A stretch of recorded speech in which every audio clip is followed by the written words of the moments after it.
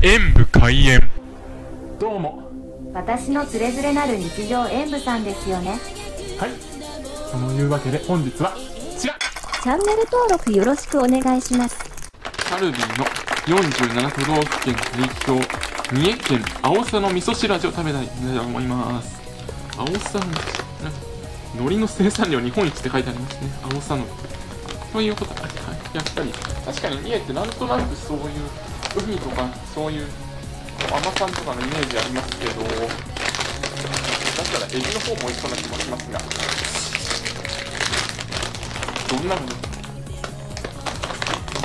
こんな、はい、見た目はちょっとのり塩に近い印象ですね。では、どんな感じなのかな？いただきます。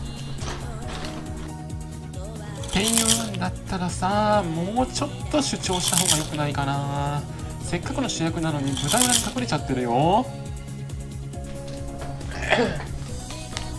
うん。最初に食べてたものはほんのり青のりの香りが口の中に広がってきたんですけど、なんか進めていくとだんだんなそうでもなくなってきちゃったなっていう部分があったのはちょっと残念でしたね。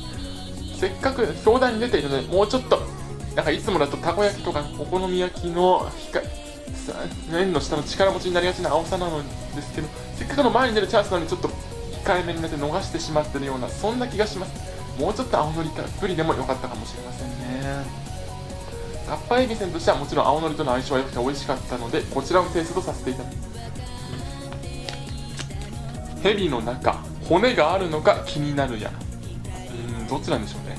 ご視聴ありがとうございました。コメントしていただけると、そしてよろしければ他の動画も見ていただけると、動画を拡散していただけると嬉しいです。演武終演。